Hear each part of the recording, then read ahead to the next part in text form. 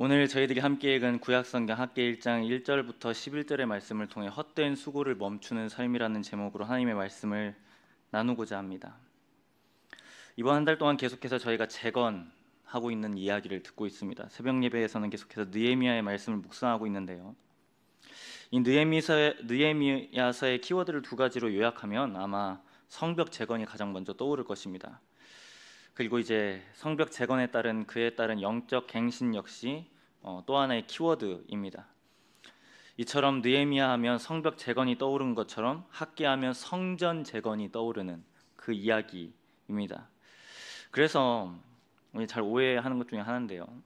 학계 이 말씀을 읽고 예배당 건축을 위한 근거로 삼기도 합니다. 근데 안타깝게도 학계는 그런 기 위해서 기록되어지지 않았습니다. 예, 학계가 활동한 시대적 배경을 고려한다면 예, 예배당 건축과는 전혀 무관한 관련이 있긴 하지만 그렇다고 해서 꼭 직접적인 결과로 볼 수는 없습니다. 예, 어떻게 보면 학계에서는 예배당 건축이라는 좁은 의미에서 이해되어지지 않고 더 넓은 의미인 하나님 나라를 모든 백성들이 건축하라는 의미로 적용되어집니다. 이게 바로 학계서의 주제입니다. 느헤미야가 성벽을 재건하는 것도 학계를 통해 성전 재건을 독려받았다는 점은 우리가 우리의 신앙에서 무너졌던 우선순위를 다시금 떠올려 보게 합니다. 무너졌던 우리의 우선순위가 무엇인지 당시 백성들이 성벽과 성전을 재건한 것처럼 우리의 신앙 역시 다시 세워져야 할 것들을 세우고 무너져야 할 것들은 우리가 그것들을 여전히 헛되게 붙잡고 있다면 그것들을 과감히 놓아야 한다는 점을 우리에게 분명히 도전하고 있습니다. 학계가 하나님께 말씀을 받았던 시기를 오늘 본문 1절은 이렇게 소개하고 있습니다. 다리오 왕 제2년 여섯째 달 곧 그 달 초하루에 여호와의 말씀이 선지자 학계로 말미암아 스알디엘의 아들 유다 총독 스룹바벨과 여호사닥의 아들 대제사장 여호수아에게 임하였다고 말합니다. 다리오 왕은 유다 사람이 아닙니다. 네, 이스라엘 사람이 아니죠. 이 사람은 페르시아 사람입니다. 이 당시 표현대로 하면 바사의 왕입니다. 바사는 남유다를 멸망시킨 그리고 그 멸망시킨 나라인 바벨론을 멸망시킨 나라입니다. 그러니까 남유다, 바벨론, 바사 순으로 이어지는 그러한 구도인데 이 다리오라는 사람은 바사의 왕이었다라는 거죠. 그러니까 학계가 하나님의 말씀을 받은 이 시기는 포로로 끌려간 이후에 약간의 시간이 지난 시점입니다. 많은 사람들은 이 시기를 주전 520년으로 보고 있습니다. 우리가 남유다서 남유다의 역사 중에 가장 중요한 역사라고 한다면 물론 분리되는 역사도 되게 중요하겠지만 이들이 하나님의 심판에 의해서 무너진 그 연도를 우리는 좀 기억할 필요가 있습니다. 바로 주전 586년입니다. 그러니까 딱 이 시점과 비교해 보면 학계가 하나님의 말씀을 받은 시점과 비교해 보면 약 70년의 시간이 지난 것으로 저희가 알 수 있습니다. 그러니까 다시 이야기를 돌이켜 보면 주전 586년에 남유다는 바벨론의 침략으로 멸망되었습니다. 솔로몬이 세웠던 화려한 성전은 하루아침에 불에 탔고 다 파괴되어졌습니다. 성전의 기물은 모두 바벨론에 의해 약탈되었습니다. 심지어 남유다의 지도자들과 지식인들은 바벨론으로 끌려가서 포로 생활을 계속했습니다. 물론 포로는 아니었지만 바벨론화 되기를 종용받은 거죠. 우리가 잘 아는 것처럼 다니엘, 하나냐, 미사엘, 아사랴가 여기에 대표적인 인물입니다. 학계하고는 좀 다른 이야기지만 학계 전에 활동했던 예레미야는 계속해서 바벨론의 침략과 성전의 무너짐을 두고 유다 사람들에게 거듭해서 경고했습니다. 하지만 유다 사람들은 이를 경히 그러니까 가볍게 여겼습니다. 오히려 이걸 받아들이지 않았습니다.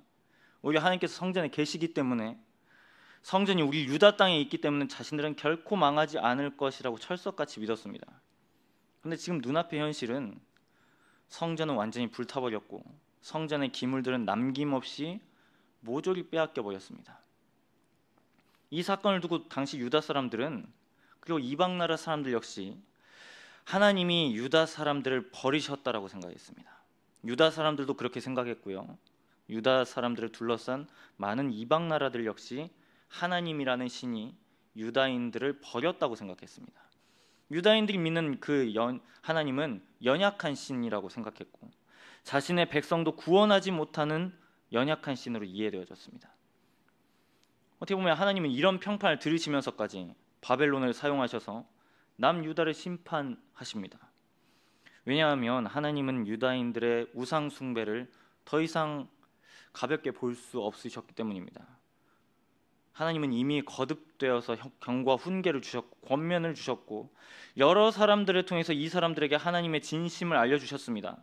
하지만 이 사람들은 돌이키지 않고 우상 숭배를 하고 공의와 정의를 잃어버린 채 살아갔습니다. 우리가 여러 왕들의 이야기를 읽었을 때 그것을 잘 증명해 주고 있습니다. 이 바벨론 침략 전에 많은 왕들이 악한 왕이라고 소개되고 있습니다. 열왕기에서 민족의 대표성을 띠고 있다는 이 왕이 악했다라는 이 사실은 백성들 모두가 왕을 따라서 하나님을 저버렸다라는 말이 되기도 하는 겁니다. 그래서 자체적으로 이 남유다가 자정할 수 있는 신앙의 순수성을 신앙의 본질을 회복할 여력이 없는 이 사람들에게 하나님은 마지막 방법을 감행하십니다. 그건 바로 심판이었습니다. 그 도구가 그리고 바로 이방 나라 바벨론이었다라는 거죠. 공의와 정의 하나님께서 이러한 백성들의 죄악을 바로잡으시기 위해서 그들이 그토록 자랑 삼았던 성전을 하루아침에 무너지게 하십니다. 심지어 자신을 연약한 신이라고 무능한 신이라고 평가를 받았어도 하나님은 심판을 감행하셨습니다. 왜냐하면 하나님은 유다 사람들을 반드시 회복시키기를 원하셨기 때문입니다. 그래서 하나님은 바벨론의 포로로 끌려간 백성들을 버리지 않으셨습니다. 그러니까 어떻게 보면 포로로 끌려갔으면 여기서 이야기가 멈춰야 되지만 오늘 본문 학교와 그리고 예레미야 수많은 포로기 선지자들은 하나님께서 이들을 결코 버리지 않으셨다라고 계속해서 약속하십니다. 무너지지 않을 것 같은 바벨론이 한순간에 페르시아의 침략으로 바벨론마저도 무너지게 됩니다. 그렇다고 한다면 유다 사람들은 당연히 자연스럽게 바벨론의 포로에서 이제 페르시아의 포로로 전환되는 게 마땅한 상식인 거죠. 근데 하지만 놀랍게도 하나님은 페르시아 첫 번째 왕인 고레스라는 사람을 통해서 주전 539년에 이들을 포로 귀환시키게 하십니다. 그러니까 다시금 고향으로 돌아가는 그 조서를 칙령을 발표하게 하십니다. 유다인들은 더 이상 포로로 남겨지는 게 아니라 자신 나라로 돌아갈 수 있는 식양민 상태가 된 것입니다. 더 나아가 고레스 왕은 무너졌던 성전을 다시금 재건하도록 돕겠다고도 나섭니다. 이건 전혀 유다 사람들에게 말이 될 수 없는 일입니다. 자신들이 한 거라고는 포로로 그냥 끌려갔을 뿐인데 하나님께서 이방 사람을 통해서 고향으로 돌아가게 하시고 심지어 성전도 다시금 재건하게 하겠다고 약속을 주신 겁니다. 그러니까 이러한 기족적인 행보가 귀한 공동체였던 유다 사람들을 다시금 꿈에 부풀게 만들었던 것 같습니다. 이런 부푼 꿈을 안고서 고향으로 이제 사람들은 돌아오게 됩니다. 유다 왕 마지막 여호야긴 왕의 아들인 세스바살 지시 아래서 성전의 지대를 놓는 기적적인 일이 이루어지게 됩니다. 이제 지대를 놓았으니까 성전이 곧 재건되는 줄로만 알았습니다. 그런데 딱 거기까지였습니다. 성전 건축은 더 이상 진행되지 않았습니다. 여러 요소가 있겠지만 일단 페르시아 내부에서 정치적 소요가 되게 컸습니다.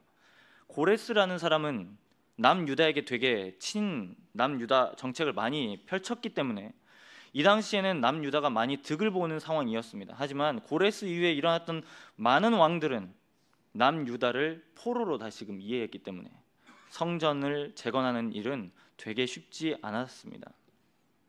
그리고 또한 성전을 재건하는 일을 두고 많은 사람들이 시샘하고 있었기 때문에 그러한 세력들이 분명히 존재했기 때문에 여러 가지 방해와 난관으로 인해서 성전 재건은 멈추어지게 됩니다. 그래서 결국 주전 536년부터 526 20년까지 무려 16년 동안 성전 건축에서 손을 놓게 됩니다.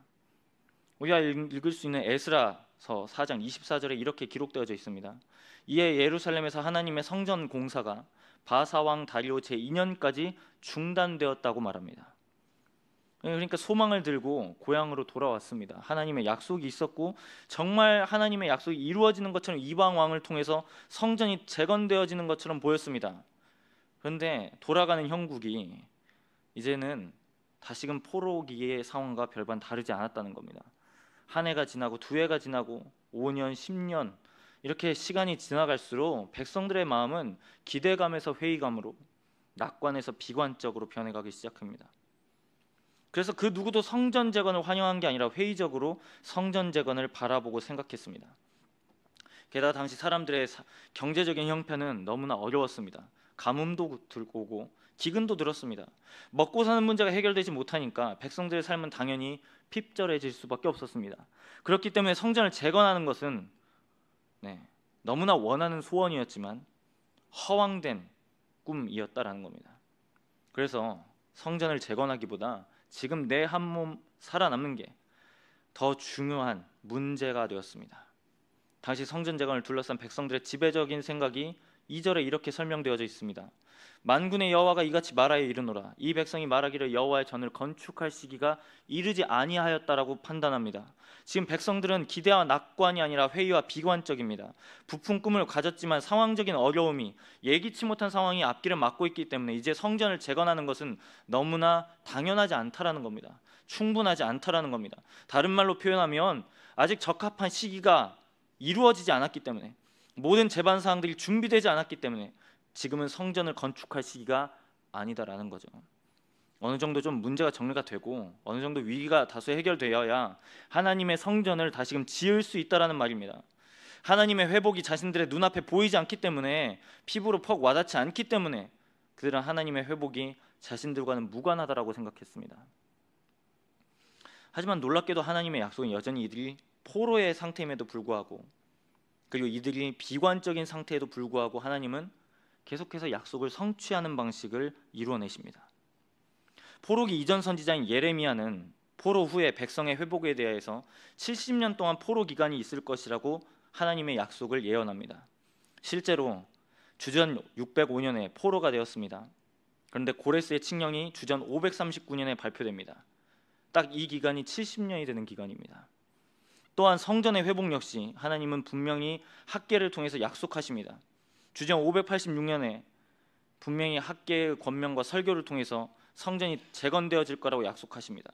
그리고 주전 516년에 성전이 재건됩니다. 이 기간 역시 70년입니다. 그러니까 하나님 계속해서 이러한 상징적인 숫자와 이러한 되어져가는 일들을 통해서 하나님은 하나님의 일들을 하고 계셨다라는 것입니다. 정작 근데 당사자인 백성들은 이 하나님의 약속에 대해서 부정적인 태도로 나아갔다라는 것입니다. 이런 사람들을 향해서 함께를 통해서 분명히 하나님은 시간에 대해서 도전하고 계십니다. 하나님은 분명히 성전 재건의 회의적인 이들을 향해 사절에 이렇게 말씀하십니다. 이 성전이 황폐하였거늘 너희가 이때에 판벽한 집에 거주하는 게 옳으냐라고 물어보십니다. 분명히 외부적인 방해가 있었고 경제적인 어려움이 이들의 부푼 꿈을 방해하기에는 충분했습니다. 하지만 그러한 방해가 있다고 해도 방해보다 하나님의 약속이 더 컸다라는 거죠. 하나님의 약속은 방해에도 불구하고 충분히 그리고 능히 이 모든 것들을 이루어내시는 하나님이시기 때문에 이들이 하나님의 약속을 신뢰했다면 이러한 방해에도 불구하고 경제적인 어려움이 있어도 그들은 소망을 놓지 말고 성전을 재건했어야 했다라는 겁니다. 그런데 그들은 자신의 집을 건축하는데 더 우선순위를 두게 되었다라는 겁니다. 즉 이게 무슨 말이냐면 내 일에는 적극적이지만 하나님의 일에는 적극적이지 못한 태도가 성전 재건을 늦추게 하는 가장 주된 요인이었다라는 겁니다. 결국 자신이 관심 있는 것에는 우선, 을 두었고 하나님의 일에는 후순위로 밀려나게 되었습니다. 성전을 재건하는 과정에서 무려 16년 동안 멈춘 사실 이를 반증하고 있습니다. 1차 포로에서 귀환한 사람들이 하나님의 성전을 짓다가 그만두고 16년 동안 자신들이 중심되는 삶을 살았다라는 겁니다. 곧 성전 재건은 이들에게 있어서 요원한 일이고 순위에서 한참 밀려난 일이었습니다. 오늘 이 본문을 통해서 우리는 신앙의 우선순위가 있음을 다시금 보게 됩니다. 우리 역시 그렇습니다. 한 번에 하나의 업무를 하면 우선순위가 아마 그렇게 딱히 필요하지 않을 겁니다. 하지만 우리가 살아가는 복잡한 현실은 우선적으로 순위를 두어서 일을 처리하는 게 훨씬 더 효율적입니다. 업무를 하는 사람들에게 붙잡고 물어보면 그 누구도 대충 대충이 아니라 마구잡이로 업무를 수행하지 않습니다. 가장 중요한 것을 가장 시급한 일을 먼저 할 겁니다. 이게 기본적인 태도이고 상식적입니다. 어, 이건 좀 사회학적이지만 이러한 방법론을 제시한 학자가 있습니다. 아이젠하워라는 사람인데요. 이 사람이 자신의 그 업무를 수행할 수 있는 네 가지 경우를 분류합니다. 긴급성과 시, 어, 중요도에 따라서 네 가지로 분류하죠. 그 일이 얼마나 중요한지, 그 일이 얼마나 빠른 시간 내에 이루어져야 하는지 이 두 가지의 기준을 놓고 네 가지로 일의 중요성을 분류합니다. 이건 역시 우선순위에 대한 부분입니다. 또한 우리, 우리는 모든 일을 균형 있게 다 하면 좋겠지만 그 가운데서 가장 중요한 것을 지속적이고 장기적으로 다룬다는 선택과 집중 역시 역시 우선순위에서 파생된 개념이라고 할 수 있습니다. 예, 이 우선순위에 대한 예를 들 수 있습니다. 어, 미국에 있는 유명한 농학자인데요. 조지 워싱턴, 워싱턴 카버라는 사람입니다.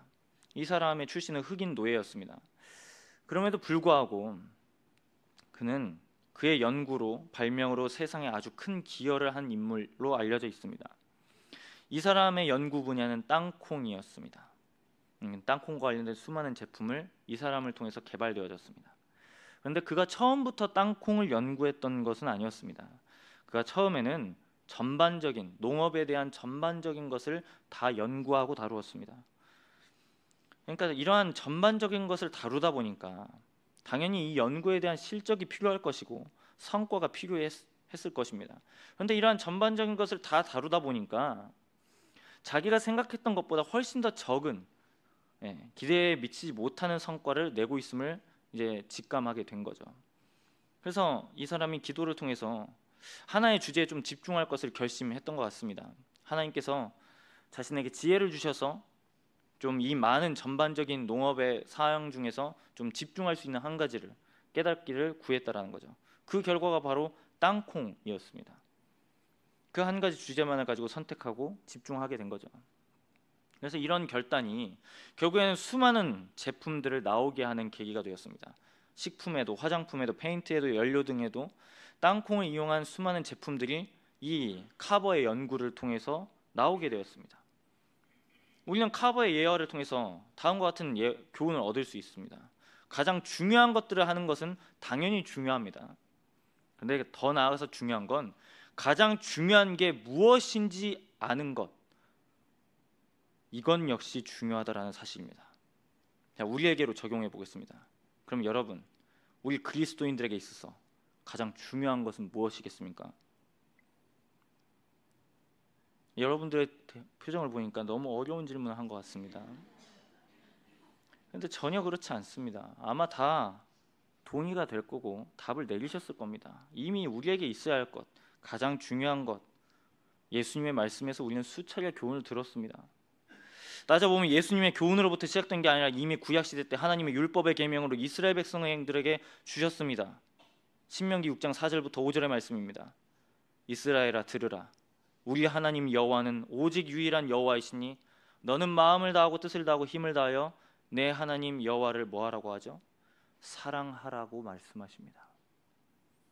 그리스도인에게 가장 중요한 게 뭡니까, 여러분? 하나님을 사랑하는 거죠. 다 동의되시죠? 그러니까 이 황금 같은 시대에 오셨을 겁 황금 같은 시간임에도 불구하고 오셨겠죠. 예. 그런데 문제는 이 사랑이 그러니까 우리가 하나님을 사랑하는 게 영원하면 좋겠지만 늘 위태할 때가 많다는 거죠. 이 사랑이 언제 휘둘리고 언제 작동하지 않습니까? 예, 하나님보다 더 사랑하는 존재가 등장할 때입니다. 더 사랑하는 것이 있게 되면 상대적으로 다른 것은 덜 사랑하게 되어 있습니다. 이게 우리의 마음의 법칙입니다. 우리는 두 가지를 온전히 다 사랑할 수 없습니다. 우리가 하나님을 사랑함에 있어서 늘 직접적으로 영향을 미치는 것이 무엇인가요? 바로 돈입니다.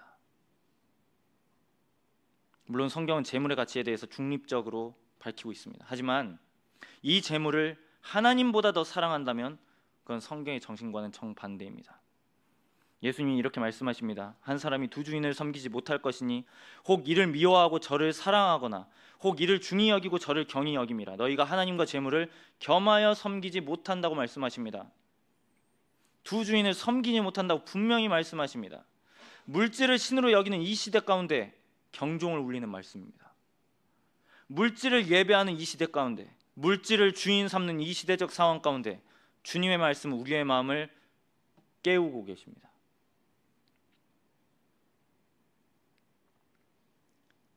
그러니까 여러분 물질이 많은 것을 부러워할 수는 있습니다. 그런데 여러분 또 그렇게 꼭 부러워하지 마시기 바랍니다. 여러분 오히려 물질이 많으면 하나님을 덜 사랑할 가능성에 노출된 겁니다. 그러니까 위험한 거예요 지금 물질 많으면 돈이 많으면 하나님 사랑하면 좋겠지만 우리의 마음은 연약해서 하나님을 사랑하기보다 돈을 사랑할 수 있는 그러한 가능성에 노출될 수 있다는 겁니다. 마음을 더욱 지켜야 할 도전이 부과된 겁니다. 재물이 많아서 참되신 하나님을 저버리는 것보다 차라리 적당한 먹고 살기에 부족함 없는 조금 빠듯해도 여유가 적당한 상태가 훨씬 더 낫다는 지혜자의 권면은 우리에게도 유효한 거 아니겠습니까? 그런데 문제는 우리가 돈이 그렇게 많지 않아요. 얼마나 복이 되는 겁니까, 여러분? 복 받으신 겁니다, 여러분. 옆에 있는 성도님들께 함께 이렇게 예, 도전과 권면과 격려해 주시기 바랍니다. 돈이 없는 게 돈이 적당한 게 복입니다. 예, 여러분 복 받으신 거예요. 진짜 복 받으신 겁니다. 예, 아멘이시죠? 이런 건 진짜 아멘을 크게 해야 됩니다. 예, 제가 원래 아멘을 잘 요청드리지 않는데 하여튼 그렇습니다. 예, 여러분 오늘 본문의 유다인들을 보십시오. 하나님을 더 우선시하지 않으니까 하나님의 계획하심이 분명하고 하나님의 회복하심이 성전을 통해서 이루어질 그 회복의 약속이 있음에도 불구하고 눈에 눈앞에 보이는 어려움 때문에 하나님을 저버립니다. 자신들의 집을 짓는데 급급합니다. 5절과 7절을 보면 같은 표현이 반복되어져 있습니다. 하나님의 말씀입니다. 너희는 너희의 행위를 살피라고 말이죠. 이 말씀의 원래 의미를 되짚어 보면 지금까지 살아온 삶의 여정을 마음에 두고 반성해 보라는 겁니다. 그리고 즉 6절과 10절 그리고 11절에 말씀하시는 그러한 하나님의 심판은 백성들이 지금 하나님을 우선시하지 않았기 때문에 벌어진 일이라고 설명하고 있습니다. 즉 무너진 하나님의 성전을 폐허가 된 성전을 재건하는 일보다 자신의 집 짓는 일에 더 많은 관심을 기울였음을 하나님의 학계를 통해서 경고하고 계신다라는 거죠. 하나님을 등한시하는 사람들에게 하나님을 우선하지 못하는 자들에게 하나님께서 8절에 이렇게 말씀하십니다. 너희는 산에 올라가서 나무를 가져다가 성전을 건축하라. 그리하면 내가 그것으로 말미암아 기뻐하고 또 영광을 얻으리라. 여호와가 말하였느니라. 지금 이 사람들이 뭐라고 말씀하시나요? 지금 당장 나무를 가지고 성전을 건축하라고 말씀하십니다. 지금 당장이요. 그런데 여러분, 이 사람들이 이미 눈앞에 봤던 성전은 무슨 성전인가요? 솔로몬 성전이었습니다. 그 솔로몬의 성전이 어떻게 생겼습니까? 화려합니다. 모든 것이 금으로 둘러싸여져 있습니다. 휘황찬란합니다. 또 성전의 그 목재는 누가 보아도 인정하는 당시 최고의 레바논 백향목이었습니다. 그러니까 이 사람들의 성전이라는 개념은 누가 보아도 하나님의 영광이라는 개념을 눈으로 보는 거라면 솔로몬 성전을 대번에 떠올릴 만큼 그렇게 화려하고 번쩍인 그러한 성전 그런 것을 원했다라는 거죠. 그런데 지금 그에 비해서 지금 자신들이 지어야 할 성전은 어떤 성전인가요? 이름도 없는 그냥 나무로 지어진 성전인 겁니다. 정말 흔하게 구할 수 있는 그런 나무들로 지어진 성전이요. 금은 차치하고서 은 하나 있으면 괜찮은 그런 성전인 겁니다. 자신들이 힘쓰고 애써서 지을 성전이 옛날 옛적의 솔로몬의 성전보다는 한참을 못 미치는 이런 표현을 써서 좀 죄송하지만 어딘가 한참 모자라는 그러한 성전이 세워지게 될 게 눈에 뻔히 보이는 겁니다. 그러니까 그 성전을 보고서 이 사람들은 추억할 겁니다.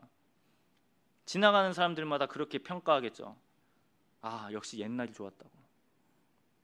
역시 성전은 금빛으로 둘러야 성전인데 이게 어디까지나 다 자신들이 바라보는 시선인 겁니다. 여러분 한국 교회의 현실 어떻습니까? 옛날이 좋았습니다. 옛날엔 그랬죠.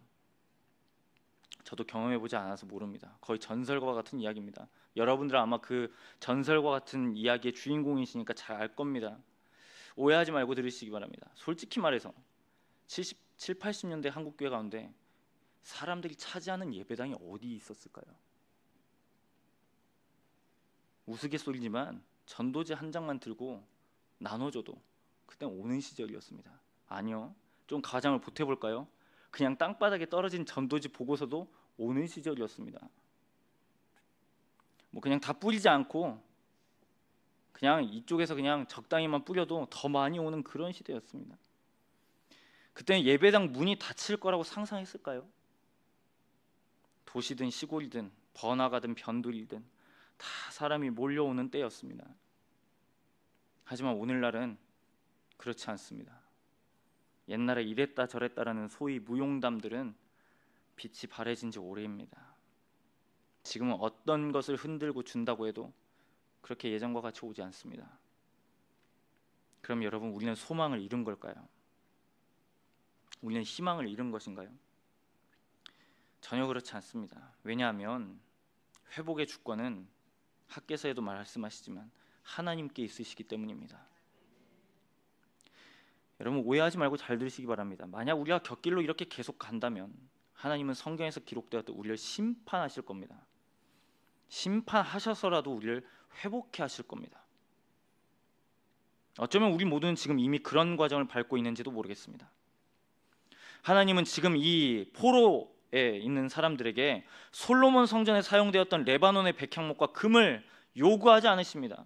이 사람들에게 요구했던 것은 그냥 나무를 가져와서 성전을 지으라고 고, 도, 도전하고 있습니다. 우리에게도 동일하게 말씀하십니다. 나무를 가져와서 성전을 지으라고 말씀하십니다. 하나님을 향해서 다시 우선순위를 정립하고 그 무엇보다 하나님 더 사랑하기를 하나님이 원하고 계신다라는 겁니다. 우리의 신앙은 이처럼 우리의 마음과 우선순위가 너무나도 중요합니다. 때마침 제가 또 수요일에도 말씀을 전하기 때문에 마음과 관련된 부분은 수요일에 말씀을 전하도록 하겠습니다. 네, 의도치 않게 시리즈가 되었습니다. 여러분 물질적인 크기가 하나님 앞에 중요한 게 아닙니다. 하나님은 우리의 중심을 달아보십니다. 설교를 마무리하고자 하는데요. 네덜란드의 종교개혁자로 알려진 비렐름 아 브라켈의 말입니다. 교회의 외적인 영광과 번영이 참된 교회의 표지가 될 수 없다. 많은 사람들의 필요 사항을 반영시켜서 많은 사람들을 예배당으로 불러 모을 수도 있다. 하지만 그들이 교회를 온다고 할지라도 참된 교회가 아닐 수 있다 라고 말합니다. 여러분, 이 예배당 문을 밟는 건 너무나 고무적인 일이고 감사한 일이죠. 그런데 우리 주님께서 도전하시는 바가 단지 이 마당만을 밟고 간 것일까요? 우리의 마음을 집에 두고 이 예배당에만 있다면 우리는 예배를 드리는 게 아니라 오히려 집에 마음을 두고 왔기 때문에 다른 것에 마음을 그러니까 하나님을 예배한 상태가 아니지 않겠습니까? 우리 신앙에서 중요한 건 하나님 말씀에 기반한 순수함 아니겠습니까? 우리의 마음을 온전히 주님께 드리는 것. 이것이 바로 하나님께서 우리에게 원하시는 바입니다. 오늘 학계서에 나온 이 유다 백성들은 자신이 지을 나무 성전을 과소평가했습니다. 아무도 이 성전을 하나님의 성전이라고 인정하지 않을 거라고 다 단언했습니다. 하지만 여러분 학기 2장 9절의 말씀을 보십시오. 분명하게 하나님께서 약속하고 계십니다. 이 성전의 나중 영광이 이전 영광보다 크다고 약속하십니다. 왜 그렇습니까? 하나님이 평강을 주시기 때문입니다. 그리고 이 약속이 어디로부터 성취되어집니까? 신약에 오시는 예수 그리스도로 성취되어집니다. 우리 주님께서 분명하게 눈에 보이는 성전을 헐게 하시고 자신이 친히 성전 되셔서 이제는 하나님과 교통할 수 있는 친히 산 제물이 되셨다라는 겁니다. 이제 우리에게도 다시금 도전이 있습니다. 예수 그리스도를 주님으로 믿는 모든 사람들은 이제 하나님의 성전이 되었습니다. 그럼 여러분 우리는 무엇을 해야 하겠습니까? 하나님의 살아계신 성전으로 우리는 무엇을 해야 합니까? 우리는 어떠한 마음으로 하나님을 바라봐야 합니까? 어떠한 태도로 우리는 하나님께 예배드려야겠습니까? 그건 다른 게 아닙니다. 하나님을 사랑하는 것입니다. 나의 물질보다, 심지어 나의 자녀보다, 내가 원하는 지위보다, 내가 이룩해 놓은 수많은 조건과 제목들보다 하나님을 더 사랑하는 것입니다. 여러분 이게 바로 자기 부인의 정신 아닙니까? 기독교가 자기 부인 정신으로 여기까지 왔습니다. 우리가 다시금 회복해야 될 정신은 여러분 화려한 솔로몬 성전이 아니라 나무 성전이어도 하나님이 그곳에 계신다고 한다면 기꺼이 나의 마음과 생각을 드릴 수 있는 자기 부인 아니겠습니까? 우리가 기꺼이 나를 부인함으로써 예수 그리스도의 길을 걷는 살아계신 하나님의 성전이 될 수 있기를 우리 주님의 이름으로 부탁드립니다. 주님의 말씀을 읽고 마무리 짓습니다. 그런즉 너희는 먼저 그의 나라와 그의 의를 구하라. 그리하면 이 모든 것을 너희에게 더하시겠다고 약속하십니다. 먼저 하나님을 구하고 먼저 하나님만 구하고 먼저 하나님만 사랑하고 먼저 하나님의 말씀을 순종하는 내 집을 먼저 지으려는 헛된 수고를 멈추는 삶이 되기를 우리 모두가 되기를 주님의 이름으로 부탁드립니다. 다 함께 기도하겠습니다. 사랑과 은혜와 풍성하신 아버지 하나님, 오늘 우리에게 주신 말씀 학계 1장 1절에서 11절의 말씀을 통해 우리의 중심을 달아보시는 하나님의 마음을 듣습니다. 우리는 잘 지어진 무언가를 주께 드려야 내가 생각하는 합당한 무언가를 드려야 하나님께서 영광 받으신다고 생각합니다. 하지만 하나님께서 가장 우리에게 달아보시고 받기 원하시는 것은 마음이라는 것을 저희들이 다시 한 번 더 듣습니다. 주님, 재물을 숭배하는 이 시대 가운데 사랑 없음을 숭배하는 이 시대 가운데 우리가 기꺼이 주께서 행하신 일로 인해서 나의 마음을 주님께 드리게 하시고 재물보다 더욱더 주님을 사랑하게 하시고 주님보다 더욱더 높아졌던 것들을 주님보다 더욱더 아래, 아래에 두게 하셔서 하나님을 사랑하는 기쁨이 우리 가운데 흘러 넘치게 하여 주옵소서. 그리스도께서 우리를 위해서 그렇게 행하시고 그렇게 하시기 위해서 살아있는 재물이 되어 주시고 산 성전이 되셔서 하나님께 바친 받으심을 우리가 듣사오니 하나님 계속해서 우리가 이러한 마음의 부침이 있을 때마다 그리스도께서 우리를 위해서 행하신 일을 곱씹고 기억나게 하셔서 아버지 하나님 우리 역시 이제 살아계신 하나님의 성전으로서 당신께 마음을 드리는 아버지 하나님 예배자가 되게 하여 주옵소서 그렇게 행하실 주님의 이름을 찬양드리며 이 모든 것 우리 주 예수 그리스도의 이름으로 기도드립니다.